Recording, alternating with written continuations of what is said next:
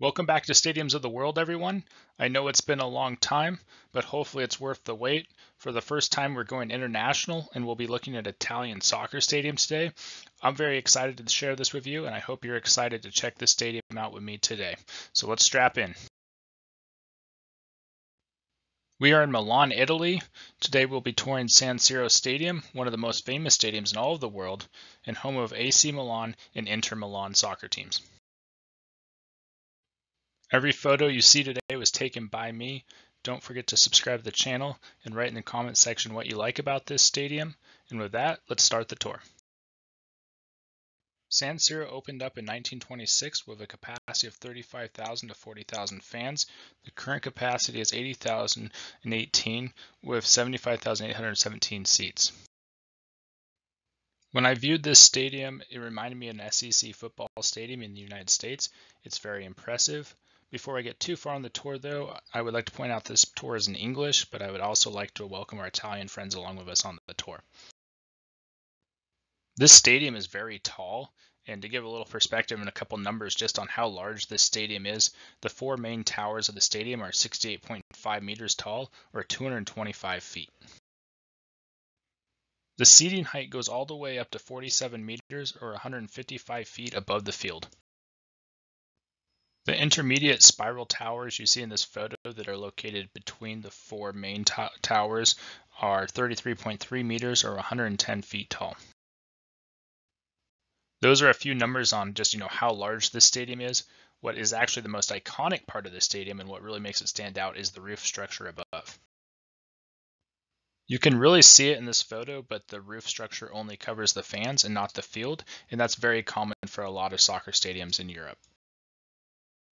The concept of the roof layout itself in Europe is not that unique. What is very unique about this roof structure you can see in this photo, and it's the large cantilevers shown in red. The stadium is located in the San Siro district of Milan, and that's where it gets its name from.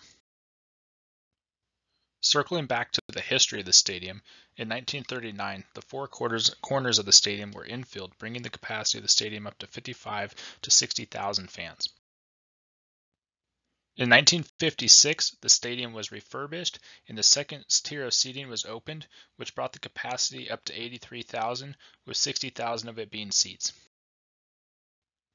In 1990, a third tier of seating was added along with the roof, and the stadium was brought up to 85,700 seats. Today, the stadium has three tiers of seating on three of the four sides, you can see from this photo that one of the sides does not have a third tier seating, and you can look out on the upper tier and you can see Milan in the distance. One of the benefits of only having the roof cover the fans and not the field is it allows the field to be natural grass, which is really nice, unlike some of the NFL stadiums in the US, which has artificial turf.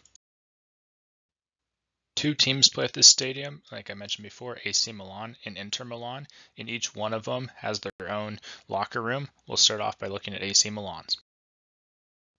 This is a view inside AC Milan's uh, locker room, very different than the NFL stadiums that I've seen in the US. It doesn't actually have any real lockers, which I thought was interesting.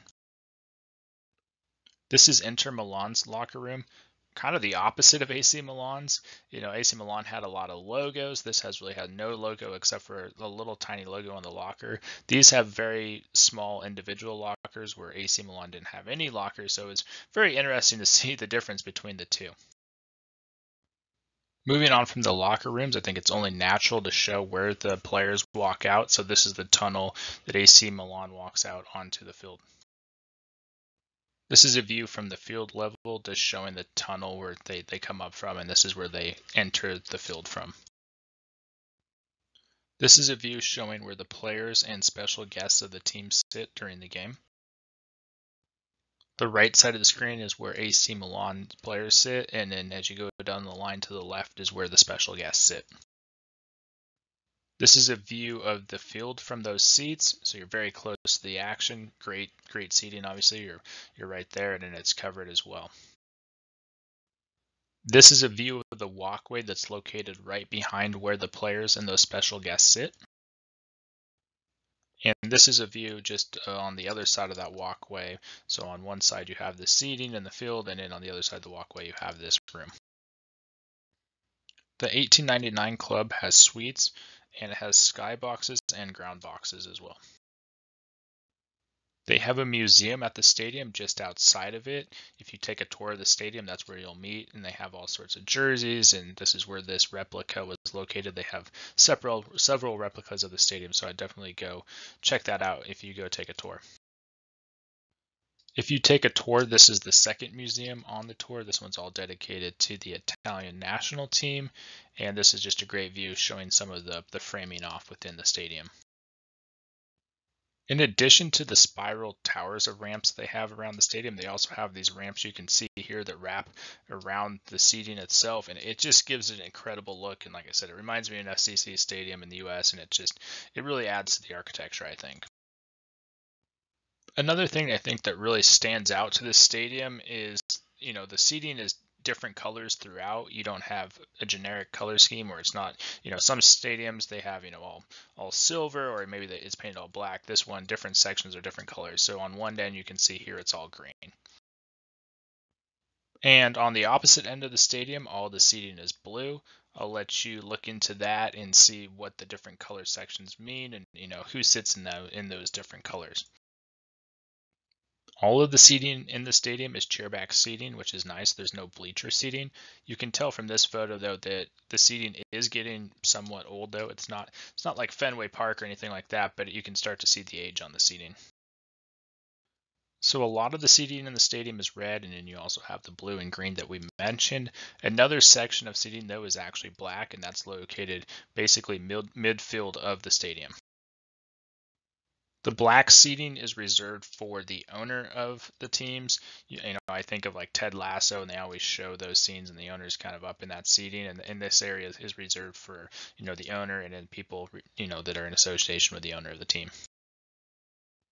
This is a view from some of the red seating, lower level, just showing that you know the seating is very close to the field. Great seats. You know, there's no track or anything like that, which you may see in some college football stadiums. So I, I think there's really not a bad seat in the house. and You can just see see it from here.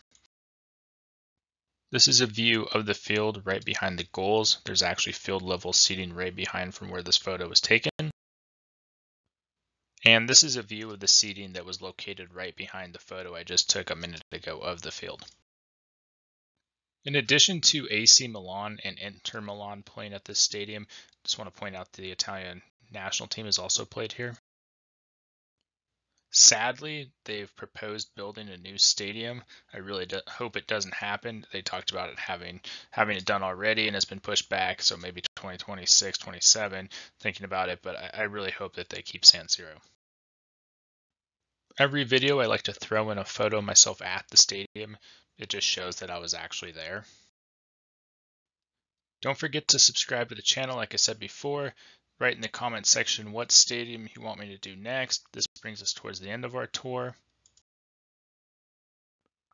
I just want to end the video today saying the next stadium on our list that I plan on doing next is very exciting. I think this one's cool, but I'm really excited for the next one. It's it's very unique. It's it's one of my favorites of all time. So I hope you uh, stick around, check out the next video, and until next time, take care.